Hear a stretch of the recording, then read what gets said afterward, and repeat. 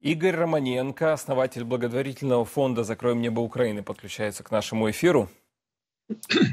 Здравствуйте, Игорь Александрович. Добрый вечер. Да, рад вас видеть. Э, скажите, пожалуйста, вот я когда читаю, что издание The Time подготовило карту военных объектов на территории России, да, которые будут в пределах эти объекты досягаемости, и Storm Shadow в том числе, а, то у меня как у не, человека не военного возникает резонный вопрос, да, ну, человека, который работает с информацией, а зачем публиковать карту военных объектов, э, которые еще не поражены? Это делается для россиян, это какое-то вредительство, или это ничего не решает в принципе? Вот объясните мне, пожалуйста. Ну, что-то решает с точки зрения э, того, что россияне будут видеть, что другая сторона э, знает о них, о их объектах, и, может быть, э, что-то будет менять. Они уже этим занимаются напряженно, потому что понимают, что решение, ну, по сути, есть, и весь вопрос о сроках доведения со стороны Британии, Франции, ну и а, вот озвучивание всего этого и причастности и американцев. Э, поэтому э, ну, тут есть свои, в том числе, психологические факторы воздействия. Э, наш предок князь вообще объявлял и говорил «иду на вы», и достигал своих целей, а морально-психологический фактор тоже играет очень важную роль.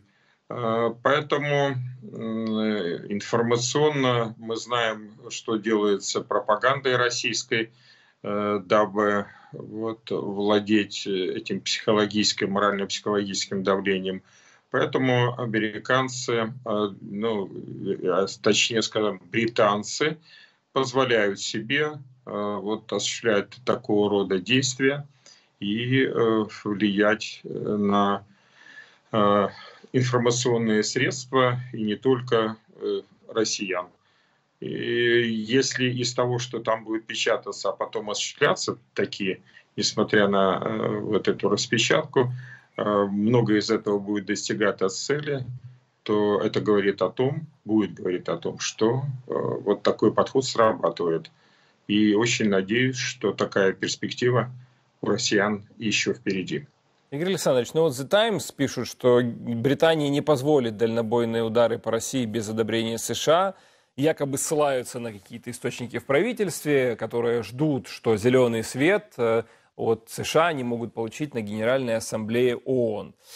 А, объясните, пожалуйста, вот как нам здесь не попасть в этот информационный капкан? Возможно, решение действительно уже есть, и это идет больше игра, знаете, такая как бы повышение ставок, ближе, дальше, шаг назад, два шага вперед в информационном а, сопротивлении с Кремлем, ведь они тоже очень часто не говорят да, о своих решениях. А может ли быть здесь вот подобная уловка, и решение уже принято, или нет? Или на Западе действительно скажут, точно, что вот дали разрешение, теперь можно бить? Я бы сказал, скорее в информационной борьбе. То есть э, сопротивляться в данном случае этот процесс должен занимать россиян, как из него выходить. И не только информационно, а еще больше по сути. Э, отдельная позиция, стоит сказать об этом, у французов, они достаточно самостоятельны и э, не дают на откуп относительно применения своего оружия, э, так сказать, права э, американцам. Но есть технические моменты, которые закладываны, заложены таким образом, что эту ракету информационно американцы могут повышать или понижать эффективность применения этой ракеты. Это важно в принципе. Американцы закладывают это для того, чтобы влиять как э, можно на большее количество вооружения. Это значит государств, своих союзников, в том числе и Украину. Мы видим, каким образом они это используют по последним месяцам, в последние полугода. То есть обещанная помощь, э, мощная, быстрая и так далее – до сих пор не осуществляется финансирование вернее, скажем, финансы, в счет которых поставляется вооружение, они уменьшены в последние месяцы, а в сравнении с тем, как это было до полугодичной паузы, так значительно, потому что тогда через каждые две недели они нам поставляли пакеты на миллиард-полтора миллиарда, а последние три месяца это делается где-то по 200 миллионов долларов плюс-минус. Причем э, сейчас осталось две недели финансового э, года российского, а у них остались 6 миллиардов для Украины, э, ну, тех денег, которых им все там как бы не хватало. А теперь вроде бы и хватает, и болит голова, что совсем нехорошо получается рассказывать всем, что не хватает. На самом деле они есть, и они не использованы в условиях, когда у нас такой дефицит э, в этом вооружении, э, который сказывается на все обстоятельства, и мы видим, какое тяжелое положение у нас на фронте. Вот роль и значение э, американцев, каким образом все это реализуется. Относительно того, почему, да, и в связи с этим вот информационно они делают для себя, как э, правильно по времени и как э, правильно для них по форме представить все это.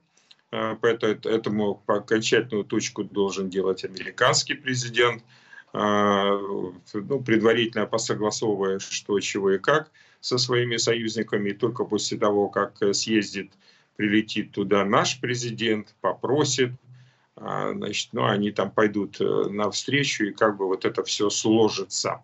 Но вот такой алгоритм, к сожалению, и он укладывается в общий алгоритм э, управляемой эскалации, которая э, все это время э, войны широкомасштабной придерживаются американцы.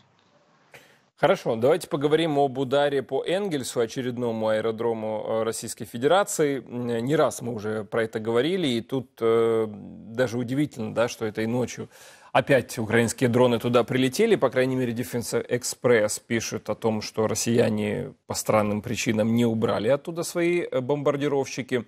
И вот что видно на спутниковых снимках за позавчера, то есть наверняка именно эти самолеты и стали а, вот, а, объектами атаки да, украинских дронов.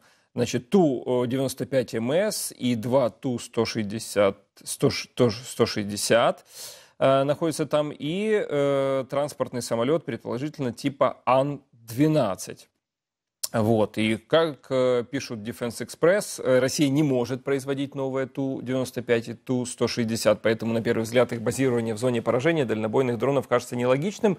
Но оккупанты, как утверждает Defense Express, не имеют технической возможности разместить одновременно все стратегические бомбардировщики только на Оленье. Вот. Э, тут э, серьезно пишут э, данные о нагрузке да, одного такого же Ту-160, который может составлять... А, нет, простите, Ту-95 до 32 ракет типа Х-101 может себе переносить. А расскажите, пожалуйста, а, об этом поражении, что нам ну, стоит здесь отметить, э, видим ли мы какие-то позитивные тенденции? На мой взгляд, странного здесь, в общем-то, особенно ничего нет, потому что они, к сожалению, используют э, ограниченное для себя количество аэродромов для стратегических бомбардировщиков, и это Ту-95МС и Ту-160, бомбардировщиков дальнего действия Ту-22, М3. Э, а поскольку они э, это осуществляют, поэтому мы с этим боремся. И причем настолько, что министр обороны э, генерал Остин говорит о том, что вообще стоит ли нам давать средства далекобольные, потому что у нас они уже есть, и мы достаем в том числе эти аэродромы. То тут надо понимать, что если это и делаем мы с вами беспилотными аппаратами, то боевая часть их 50 килограммов, а таких ракет, про которых э, ну, американцы подают далекобойные, хотя по градации мировой – Э, значит, малого радиуса действия ракеты до 500 километров. Это да, для пущей важности называется далекобойными, но так или иначе там боевая часть на порядок выше, то есть до полутонны. И можно представить разницу между воздействием средств поражения в одном и во втором случае. Э, а если так, то для нас это очень важно. А теперь, ко всему прочему, можно посмотреть, куда они этими стратегическими бомбардировщиками целятся, чего достигают и чем это оборачивается для Украины. И тогда все встает на свои места. И поэтому, значит, вот эти рассуждения, что а стоит ли вообще таким образом помогать, или, ну, это от лукавого. Значит, э, раньше тот же Остин, министр обороны, был, на мой взгляд, более решительно выступал за интересы Украины, но над ним есть еще политическое руководство, которое ему помогает делать такого рода изменения. А так или иначе, э, все это отображается на состоянии дел э, в Украине. Мы это видим и чувствуем чуть ли не каждый день, а также на фронтах, на которых достаточно сложная ситуация, и она во многом усугублялась с того момента, как американцы на полгода сделали паузы, и до сих пор не исправляют ситуации после этой паузы для того, чтобы мы имели возможность принципиально изменить ситуацию на фронтах и перехватить инициативу ведения боевых действий. Спасибо большое. Игорь Александрович Романенко, основатель благотворительного фонда «Закроем небо Украины», был в эфире Фридома. Вся правда о войне России против Украины. Узнавайте оперативные новости первыми в телеграм-канале Freedom. Freedom – только то, что действительно важно знать. Подписывайтесь, ссылка в описании.